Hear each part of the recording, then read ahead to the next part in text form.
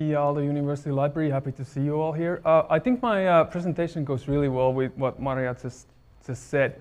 It's, it's mainly about um, today's researchers have, have uh, plenty of services available for them. They have the arXiv, the preprint server, and then they have the ResearchGate and what's not. And then I, get, I suppose the question is, like, like what, what I would like to ask and pose that what is the added value for the researcher who uses arXiv and ResearchGate to put their works also into the institutional repository. Now, is that, I think that's a relevant question. I think there is the push from the funders, which is of, of, of really needed. Uh, and, and, I realize I'm, I'm, I'm the only thing standing between you and lunch, but, but we'll, we'll, uh, we'll proceed, proceed quickly. So, uh, so yes, what is the, uh, added value of, of, of, of that? And, and should, it be, should it be communicated? Well, uh, let's, let's, take a, uh, let's take an example. Let's go to uh, uh, Stockmann's Hullut And they have a new practice there that everyone who goes there uh, needs to buy Iltalehti for two euros. And then they have to, you know, then they can purchase what, whatever they want, right? That, that's, that's the new kind of practice. And, and I would walk into Stockmann, I would be like, okay, uh, uh, um, I, I, like Stockmann at all, but, but I read Helsingin Sanomat, or my friends read Helsingin Sanomat, and, and, I, I, and if I don't get Helsingin Sanomat, I would read Aamulehti. So why do I have to, why are they forcing me to buy, buy Iltalehti as well? And, um, and I, I, suppose that, uh, I suppose that, uh, um, Yes.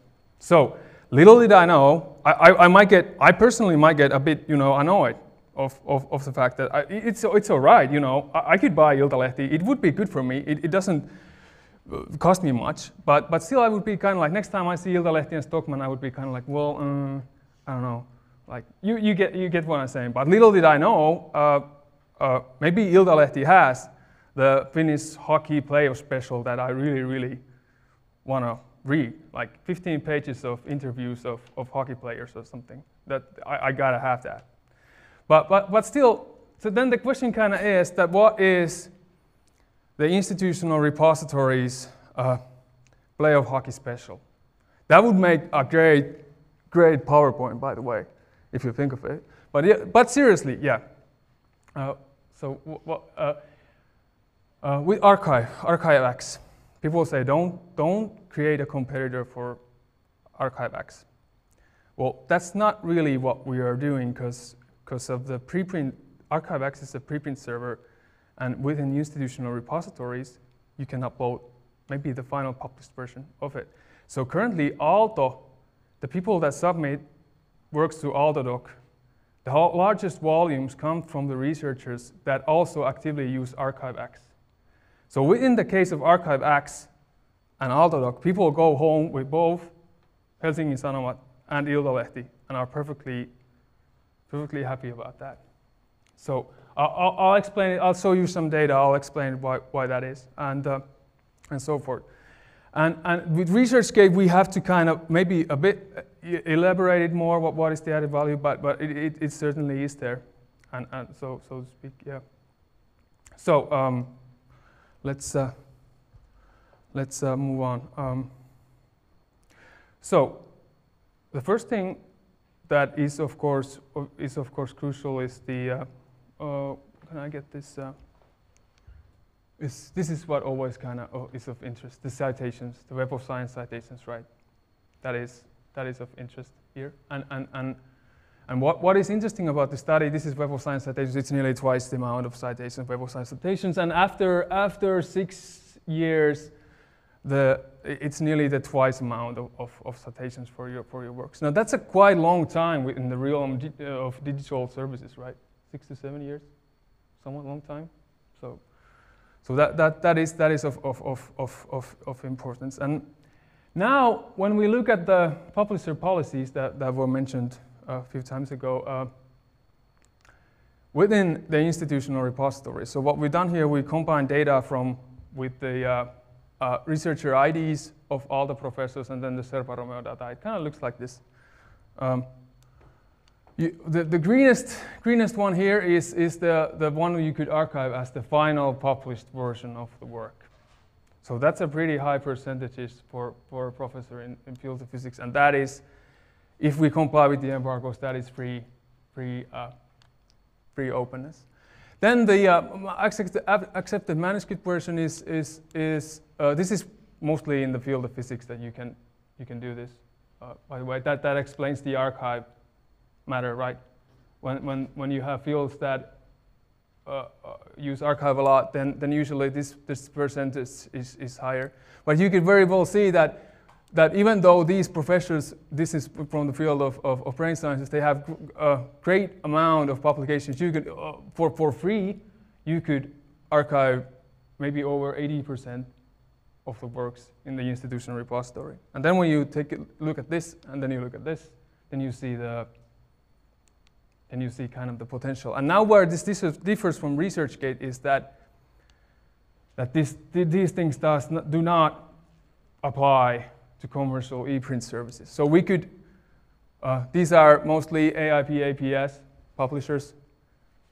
Uh, submitting your final published work to ResearchGate, uh, uh-uh, no, no, not, not from the viewpoint of, of the publisher. And, and these are, in the case of this professor, these are uh, publications uh, of some work from American Chemical Society. Now, putting American Chemical Society manuscripts to Research ResearchGate is also a, a no-no. So all this, all this would happen with the, with the terms of, of, uh, of, of, the, uh, of the uh, publishers. And here we have from the, this is MIT Press. MIT Press final published works in the ResearchGate, uh, no, no. Uh, Elsevier Elsevier manuscripts could be put into the institutional repository, ResearchGate now. So all, all these apply only to institutional repositories. This is quite fascinating actually to look through the, the, and these are Web of Science publications, so we know that these are the, the highest JUFO class of, of, of, of this. And, and just to illustrate the point, that there's, we, we did it with professors from all, all schools of Aalto. So with School of Chemical Technology, again, American Chemical Society papers, uh, no way in the ResearchGate by, by, by the publisher. And then uh, electrical engineering, IEEE manuscripts, you can have them from the uh, Manuscript Central. Very easy thing to do. You could create a lot of openness via the institutional repository of, of, of, of, of. So one point may be uh, that I'm not, the thing that the thing I'm trying to point out uh, is that arXiv institutional repositories and researchers are all great tools for the researcher, but they do kind of different things. They do different things, and, and what, is, what, is, what is important in the case of institutional repository is that this is actually allowed for you to share your works through. And this will lead into different things also as, as uh, or you could suppose that they lead into different things as well. But you can see that uh, there is a, there is a, uh, a great potential in, in, in, in opening works from the institutional repository. Now, furthermore, if we take a, like everyone is interested in the citations, right? But we could take a, a larger picture to it as well. So, um, so let's, let's think about uh, uh, uh, Finnish, maybe, maybe uh, more broadly, like the Finnish society as a whole. Uh, so if we are aiming to, for example, provide open, open knowledge for the Finnish citizens, the Finnish voters, so forth.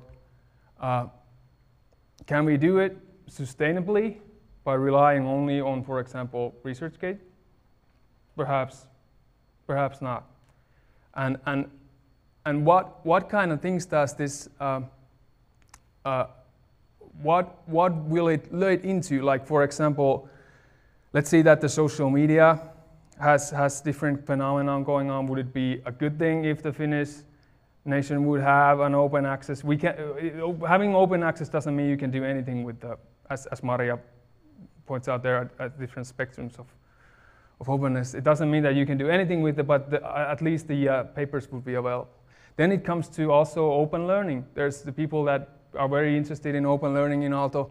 How do we do massive open online courses uh, the, the first thing that people uh, come tell me that how do I make uh, library licensed material work within universities? Now even that is difficult. How difficult is to open licensed material to people who do not actually have or, or are not students or, or faculty of university. I guess that's the thing of open learning, that it would be open for, for everybody, right? So, so how to do this, how to support these movements without having the control on the openness of the works is the question. And, and, and again, now we kind of get to the, the part that, that when the researcher goes to Stockmann, or maybe, I don't know, maybe they, they go to somewhere else but Stockmann, but they could still know, I, got my, I get my Helsingin Sanomat, I get my Aamulehti, and I, I, and I get the Ilta-Sanomat because Ilta-Sanomat actually has something that has a, value and, and, and such, such, such forth. And, uh, and so, I personally like to speak of, of, of uh, what was it, you know, what is the, uh, what is the added value? Because if I started talking about uh, selling the institutional repository, then people are like, oh dear God, now the librarian is telling how to, telling us how to sell things. Okay, that was, uh, no, no, no, I found, found that funny. Okay, well, mm, we'll scratch that. Well, nevertheless, so here you go. That, that was the argument that all of these are, are good and produce, uh, produce value. So, and the best thing of, of it that with, with the new CRIS, it's, it's dead simple. It's dead easy to do. It's dead easy to get the Iltalehti. Uh, you get the, we import the metadata from Scopus and Web of Science, and then all, you, all the thing you have, the researcher would need to do is just go there and upload the, upload the accepted manuscript, and then the library will take care of taking care of the, the policies and whether it gets uh, gets an embargo or, or, or, or not. So to summarize, I, I think there is I think I think it is it's essential to have the push of the funders and the university policies, but there's also it's not a bad idea to think about the pool as well, like how to how to sell it, how to align it with arXiv and ResearchGate, because that, that's, that's, that's what, what the researchers are offered. I, uh, I, do you have any questions? Did this make any sense, what I was trying to say? Somewhat sense? No one's... Okay, any questions? Yeah. From the audience? Maria? Okay.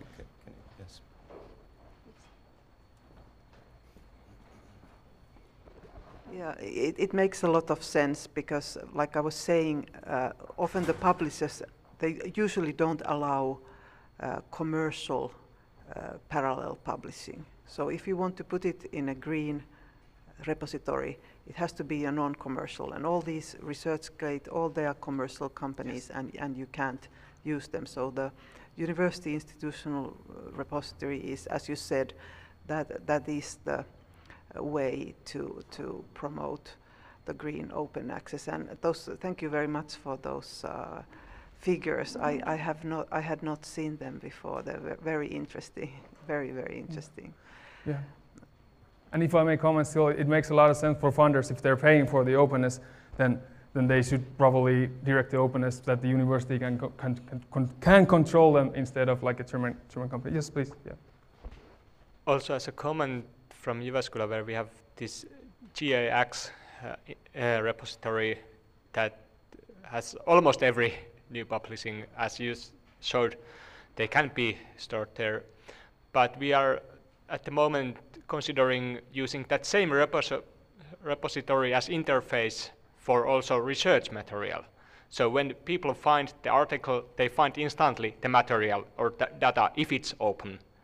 And this way, it booms in citations because if you use the data, you automatically cite other publications made from it, and vice versa. If you find the publication, you find the data. And that can be controlled by the university when it's in the university repository.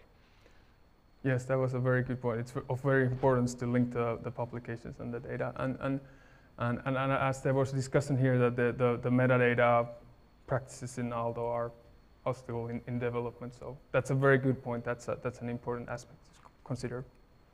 for us as well.